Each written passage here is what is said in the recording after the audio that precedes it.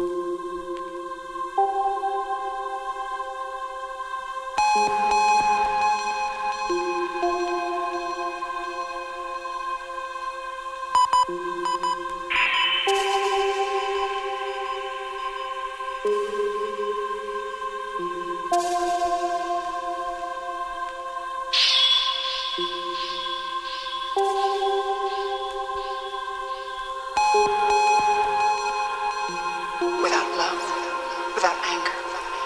without sorrow.